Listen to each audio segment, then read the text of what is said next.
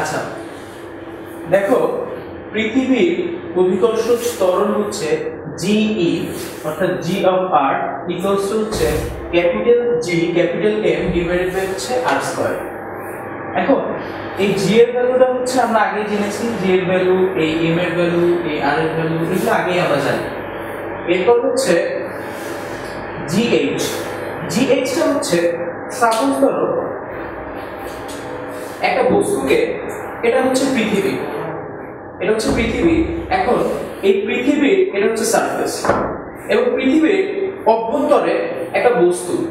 পৃথিবীর অভ্যন্তরটা হচ্ছে পৃথিবীর সেন্টার এখন, পৃথিবীর সারফেস থেকে যদি আমি একটা বস্তুকে এই উচ্চতায় উঠাই, তাহলে পৃথিবীর কেন্দ্র থেকে, পৃথিবীর কেন্দ্র থেকে পৃথিবীর সারফেস পর্যন্ত যে দূরত্ব, সেটাকে আমরা বলি হচ্ছে রেডিয়াস বা ব্যাসার্ধ। আর এই উচ্চতায় যদি একটা বস্তুকে উঠাই এম ভরের একটি বস্তুকে এই উচ্চতায় উঠাই, তাহলে এই পৃথিবীর সারফেস থেকে এই বস্তুটার দূরত্ব হচ্ছে এইচ তাহলে আমরা এখানে লিখতে পারি G H equals to G M divided by R plus H শুধুমাত্র এই আর স্কয়ারের সাথে R plus H whole square হয়ে গেল।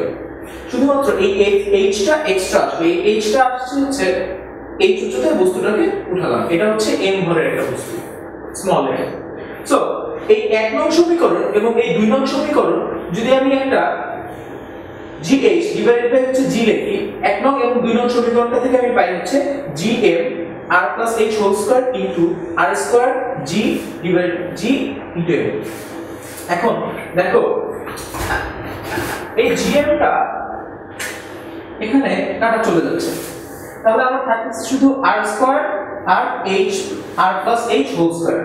তাহলে এখান থেকে GH এটা এদিকে চলে যাবে ইকুয়াল হিসেবে। So R square divided by হচ্ছে R plus H whole square into G. এখন, আমি এখান থেকে দেখি, আমি হাইট যত বাড়াচ্ছি, আমি যদি পৃথিবীর হাইটটা বা বস্তু পৃথিবী থেকে বস্তুর হাইটটা আমি যদি এখানে না নিয়ে এখানে নেই, তাহলে হাইট অবশ্যই এখান থেকে এখানে যাবে। অবশ্যই হাইটটা বাড়বে সো হাইটটা যদি বাড়ে আলটিমেটলি এই হরের ভ্যালুটা বাড়বে। আর হরের কোন ফ্র্যাকশনের মধ্যে হরের ভ্যালুটা যদি বাড়ে, তাহলে হরের ভ্যালু বাড়া মানে হচ্ছে এই টোটাল ভ্যালুটা ডিক্রিজ হওয়া, অর্থাৎ টোটাল ভ্যালুটা কমবে। আর টোটাল ভ্যালুটা যদি কমে, তাহলে এটার সাথে এই পৃথিবীর যে জিই অর্থাৎ পৃথিবীর যে অভিকর্ষ স্তরণ এটা কমবে। এই টোটাল ভ্যালুটা যখন কমবে এবং এটার সাথে গুণ হলে ওই ভ্যালুটা হচ্ছে আলটিমেটলি কম হবে। সো জিএইচ এর মানটা হচ্ছে কম হবে। সো এইচ যদি বাড়ে আলটিমেটলি জিএইচটা কি হচ্ছে? কমছে। সো কোন বস্তুকে আমি যদি পৃথিবীর সারফেস থেকে এই উচ্চতায় উঠিয়ে বস্তুটার এখানে অভিকর্ষ স্তরণ নির্ণয় করতে যাই, তাহলে এইচ ইকুয়ালস হবে R square divided by R plus H whole square into G so আমরা দেখতে পাচ্ছি যে এইচ হচ্ছে জিই এর চেয়ে কম। আচ্ছা এরপর একটা জিনিস চিন্তা করি। ধরো জিএইচ প্রাইম এটা কি একটা বস্তুকে একটা বস্তুকে যখন আমি পৃথিবীর সারফেস থেকে এই উচ্চতায় নিচে নামালাম অর্থাৎ পৃথিবীর ভেতরে প্রবেশ করলাম। সো পৃথিবীর ভেতরে এই এম ধরনের বস্তুটার জিটা কত? বা অভিকর্ষ স্তরণটা আমরা মেজার করব।